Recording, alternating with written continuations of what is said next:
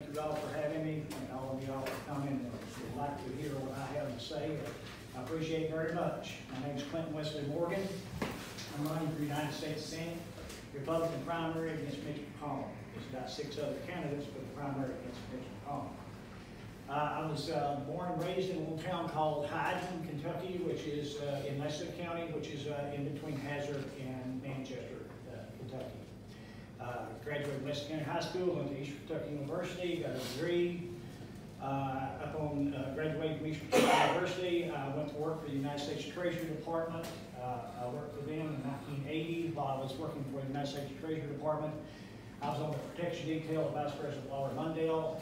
Uh, I was also on the protection detail of uh, Senator Edward Kennedy when he was running for President of the United States. And I was on the protection detail of John Anderson, who was an independent candidate time. Uh, upon uh, my father getting very ill after eight years of service, um, my father asked me to, to come home, and I did. He died six weeks after I got back, a massive heart attack. And then I went in business for myself, and I did what every one of you all do. I, I basically spent most of my time uh, trying to make a living and raise a family. And I, I was a faithful Republican, been a Republican all my life. I, I went to every primary and every general election, and I voted Republican. And then, all of a sudden, out of the blue, Barack Obama wins the presidency. And we go, oh my Lord, what in the world is happening? So I started off and I said, Wesley, you gotta get involved, and you gotta get involved quick. And I'm gonna talk really fast because I got 15 minutes. Uh, I said, you gotta get involved. And so I started uh, donating to candidates and helping candidates win, Republican candidates. But when I would help them win, I could, when they would go get in office, it seemed like they just joined in with everybody else and it really wasn't changing anything. And I said, well, this ain't, ain't working. So in 2014, uh, when I was leaving church one day, that, uh, some people at uh, I eat with after the church uh, asked me, said, uh, they can't find a candidate to run in District 81 for, for state representative, will you run? And I said, oh my Lord, no. I said, I, I don't know if I can do that or not because I'm, I'm just a good old hillbilly country boy from Hyden, Kentucky, and I, I, I couldn't stand up in front of people and talk to save my life. But uh, they, they talked me into doing it, and I, I ran for that office. Didn't know a thing about what I was doing, and didn't, didn't know how to raise money, didn't know anything. And uh, I ran, and about 42% of the. I lost, Uh, about 42% of the vote in a primary, in a, a district that was 18,000 Democrat and 12,000 registered Republicans. And I said, this is, this is, I said, we can win this. So I waited to 2016, I ran again, because I'm a constitutional conservative. The Republican leadership really doesn't like constitutional conservatives. They like people who go along rather than the man that we follow the blueprint of the Constitution. So they primaried me in 2016. I beat the person they put up in the primary, and then I ran in the general election. I beat Rita Smart, and I flipped District 81 after 50 years of being controlled by the Democrats. I wanted and nobody white, and it's because of what I stand for. And then the character assassination started after that. Now, I gave you a copy. Every one of you have a copy of the bills that I proposed while I was a state representative. And I, I took and they started feeding stories to the Courier Journal, accusing me of everything under the sun because they were doing a character assassination because they wanted me gone because I would not go along with the stuff that they wanted me to do. And let me give you an example of what I wouldn't do. They wanted to change the law, workman's comp law, that if you were totally disabled, totally disabled, they cut you off in 15 years. Said, I can't go along with that. You're talking about a person who's totally disabled, who cannot work and go and do something on the street. But this is what the, uh, the Chamber of Commerce wanted us to do. This is what McCall and, and Hoover and all them wanted us to do, and I to go along with it. The other thing he did was the, the tax increase on uh, like automobile repairs and stuff like that. And I stood up in caucus meeting and I said, why do you always go after the people who can least afford it? I said, I'll tell you what I'll do. I, I don't vote for taxes and I'm against taxes. But if you put it on lawyers, I'll vote for it. You know what they said? H-E-L-L not. This is what's representing us, and this is what's going on. Because when you leave, when you get elected for an office, and you go up there and you go into a room with the other elected officials, it doesn't become, it's not about you anymore. It's about them. So then when Hoover started all this sexual harassment stuff, they got, they brought me in and they said, we're gonna go along, we're gonna cover this up. We're not, that's not me. I said, I swore an oath to the Constitution of the United States and the Constitution of the, of the state of Kentucky. I said, I will not cover it up. So I called Hoover out, and I'm the person who caused Hoover to have to resign. Well, I got my retribution for that. The Republican Party of Kentucky, Jeff Hoover, and Mitch McConnell, handpicked the person who happens to be a friend of Jeff Hoover's wife in Richmond, and they totally 100% funded that person and beat me by 350 votes in my primary. That's how I got ousted. All because I wouldn't go along with them. And that is absolutely not the right way to do things. But you've got to understand, any one of you in here, if you got elected and went up there, you would face exactly what I faced. And that is you either go along or they'll put you out. And that's how McConnell's always played too. If you don't go along with McConnell, he will primary you. I, I, I suggest to you that you ask your state representative or your state senator if they're independent or if they're afraid that they'll get primaried if they don't go along with the insiders, because that's what happens. Now let me tell you what I'm for. I'm for faith, family, and country. That's what I stand for. I think that we should be free to worship Jesus Christ without persecution. I think we should be free to protect the life of the unborn and express our belief that abortion is morally wrong. I believe that we should be free to educate our children without government indoctrination. I think we should be free to protect our family from all threats without fear of being imprisoned for possession of firearm, which we have a Second Amendment right to do. I believe that we should be free to enjoy the fruits of our labor without being taxed absolutely to death, and you all know we are being taxed to death. If you work for, uh, for a paycheck, 47, about 47% of that paycheck gone before you ever get it. And then once you get the 53%, they just tax you on everything else you do.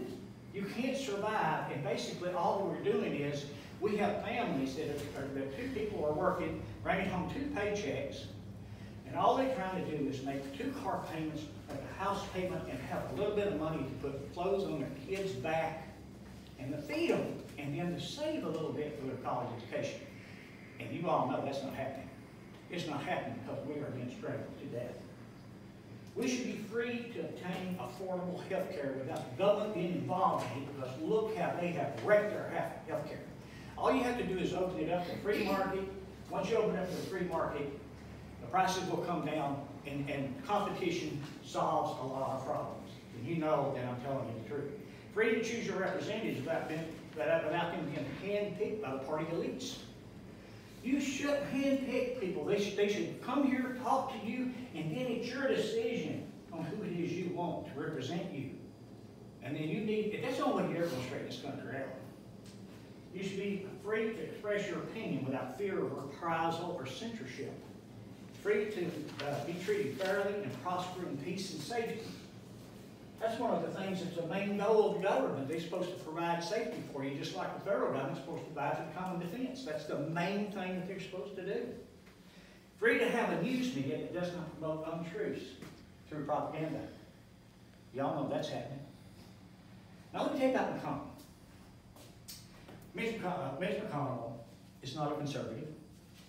Mitch McConnell, uh, Rand Paul got a 92% rating from the Conservative Review, and Mitch McConnell got a 36% rating from the Conservative Review. Mitch McConnell was very unpopular in the state of Kentucky. He only polls 33% across the uh, uh, across Democrats and Republicans and, and, uh, and uh, Libertarians. Only 30, 33%, and he only polls 50-50 with the Republican Party. So we've got a real issue here. We've got a person that if we're not real careful, we're going to end up with the same thing that happened to us with Matt Bevin. We're going to end up with the United States Senator being a Democrat if we're not extremely careful. Now let me tell you some of the things that I have to prove to you for you to consider me to be your uh, uh, candidate for United States Senate. I have to prove to you that number one, is that Mitch McConnell being the Senate Majority Leader is not necessarily to your advantage. The second thing I have to prove to you is this thing about running the conservative judges through the Senate is really not what he wants to do. But he's doing it because he knows that President Trump has a 63% approval rating in the state of Kentucky, and Mitch is trying to get elected again. And I can tell you, if he is elected again, he will become Donald Trump's worst nightmare because we all know that he did everything in the world undermine. We all know that. But let me tell you some things you don't know about. Let me tell you about the 2012 National Defense Authorization Act. They did a, a uh, they slipped into the 2012 National Defense Authorization Act, a bill called the Smith-Mundt Modernization Act. Anybody ever heard of that? Let me tell you what it does. The Smith-Mundt Law was passed in 1948. And what it did is it prohibited propaganda, government propaganda, from being used in the news media in the United States. Guess what Mitch and her, her, did in 2012 when they slipped it into the National Defense Authorization Act? They repealed it. They repealed it. The U.S. repeals the propaganda ban and spreads government-made news to Americans. Where do you think fake news come from? Why do you think that they're getting away with it and they say whatever they want to say and nobody can do anything, anybody do anything about it? Every United States senator is responsible for that. I, I couldn't believe it when I found out. Tell you what else he did. President Trump was elected president November the 8th of 2016. In December of 2016, Mitch McConnell, your Senate Majority Leader, slipped into the 2017 National Defense Authorization Act, House Bill 5181, a bill sponsored by Ted Lieu, the most liberal congressman from California that there is. A bill called Countering Foreign Disinformation and Propaganda Act. You what this did. It created a $160 million slush fund to be used by the Broadcasting Board of Governors to censor conservative content in uh, YouTube, Facebook, Twitter. This is the reason we're getting shadow banned and blocked. Because they, they're providing the government money to do this. This is what's happening to us. This is the reason why we're losing our Constitution. This is the reason why it's going on in Virginia.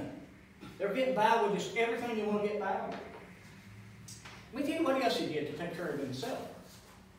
Mitch McConnell slipped into the 2014 spending bill a, a, uh, a change in the law on the campaign finance laws. Up until then, you could donate $32,400 to a party or a committee of a party. Not to an individual. You can't, you can't donate to an individual. Mitch McConnell changed that to $324,000 so that rich people people who run these big corporations and stuff can donate to the Republican Senatorial Reelection Committee, can donate $324,000. This is what they call dark money. Have you heard of dark money? This is the money that Mitch McConnell used to beat Chris McDaniel in Mississippi and to beat Judge Moore in Alabama. This is where he come up with the money at. Because there's a group of people that are controlling everything through these politicians and they're feeding the, this money. Now, I can't get $324,000 to run against Mitch McConnell, McConnell can get $324,000 to feed me. But think about that. They are disenfranchising you, the voter, disenfranchising you to where you cannot have a chance to run against them. Let me show you that. Unbelievable. All this stuff's unbelievable. This is Senate GOP declares war on conservative troublemakers. The party's campaign arm vows to blackball any firm that works for a primary challenger against one of its incumbents. I went to Washington, D.C. to hire some people to help me do fundraising for this campaign. You know what they said to me? Wesley, we would love to help you. We, we can't stand on home. We'd love to help you, but we can't. If we do, we'll lose every every contract that we have with, with the federal government, with the, with the uh, Republican Party or the Democrat Party. They'll cut us off. Mr. Morgan, you have about a minute. Okay, real quick, one more thing, and, uh, and then I will, uh, Mitch McConnell, anybody seen this book, cover of this book? Secret Empires by Peter Schweizer? You need to look this book up. There's an entire chapter dedicated to Elaine Chao and Mitch McConnell, and how they have made millions, millions of dollars through her family shipping company that is taking goods from the United States to China. To the point that Mitch McConnell voted for the Clean Air Act to shut down coal in eastern Kentucky, and guess what? His ships are now taking it from Colombia to China, and they're producing two and a half times the coal we once produced. This is what's going on with their economy, this is what's going on with their country. One little thing, if I could get one more thing out. Defunding Planned Parenthood. Rand Paul went before the, uh, the Faith Forum in DC. You can look it up on YouTube. And he says, I went to a high level, high level in leadership. And I looked at him and I said, I want to introduce a bill to defund Planned Parenthood. And that high level person in leadership said, well, you can't do that. And he said, why not? He said, because you're winning. Has no, he, he has no way, that he, he wants to defund Planned Parenthood, he never has tried. He supported everything that uh, Barack Obama did.